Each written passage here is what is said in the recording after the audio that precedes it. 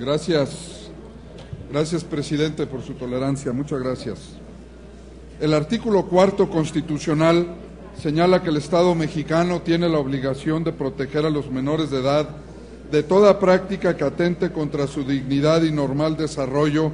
psicosexual, previendo lo necesario a fin de propiciar el respeto a la dignidad de la niñez y el ejercicio pleno de sus derechos. Prueba de ello es que el Estado mexicano ha asumido diversos compromisos ante la comunidad internacional con el fin de garantizar el pleno desarrollo de niñas y niños del país,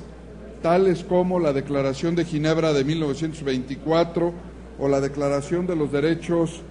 del Niño y la Convención sobre los Derechos del Niño de 1989. Sin embargo, y para nuestro pesar, en México aún se viven situaciones que se alejan del espíritu plasmado en los marcos jurídicos tanto nacionales como internacionales.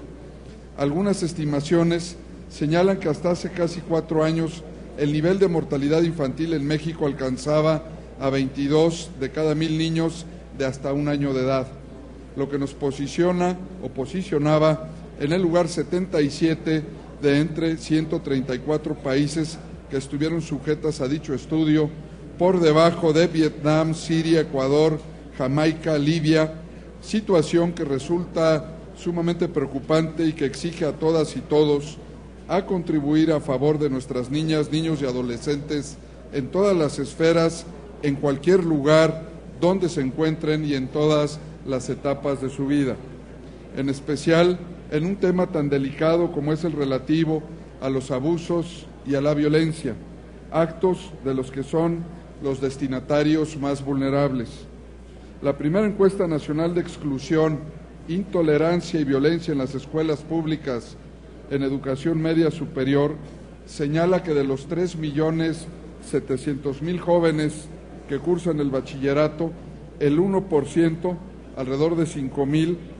dijo haber sido víctima de violación y de los cuales 204 inculparon a sus maestros por la violación.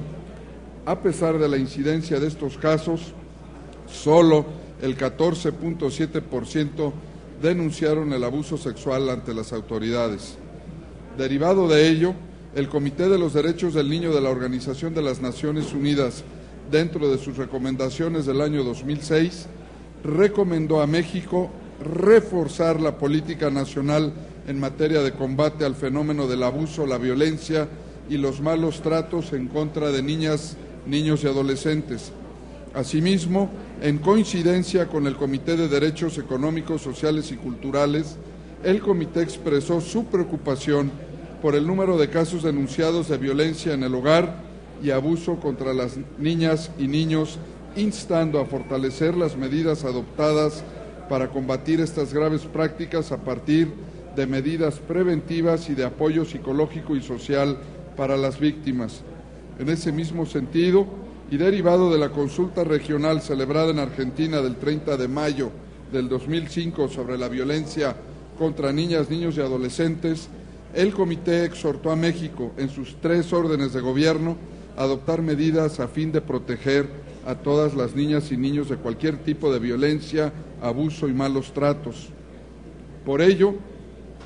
las y los senadores del Partido Acción Nacional aludimos el hecho de que si bien actualmente ya existe disposición en la ley en materia de niñez que obliga a la Federación, el Distrito Federal, estados y municipios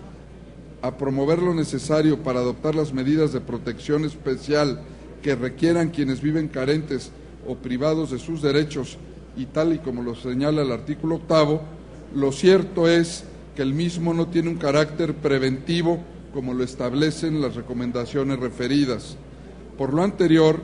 las y los senadores integrantes del Partido Acción Nacional advertimos sobre la pertinencia de adicionar el artículo 21 de esta ley para que los tres órdenes de gobierno establezcan programas, acciones de prevención y denuncia de actos que atenten contra la niñez y juventud en México, con el objeto de disminuir el porcentaje de impunidad de estos delitos, instituyéndose como el mejor medio de apoyo a favor de las víctimas y sus familias. Por ello, amigas y amigos, votaremos a favor de este dictamen y los invitamos a hacer lo mismo. Un dictamen que tiene como finalidad darle mayores facultades al Estado mexicano para que actúe de manera efectiva e integral en contra del abuso sexual de niñas y niños, estableciendo programas de prevención, detección, denuncia y atención a la víctima y su familia, propiciando con ello mejores condiciones para la niñez y juventud mexicana. Por su atención, muchas gracias. Gracias, presidente. Gracias.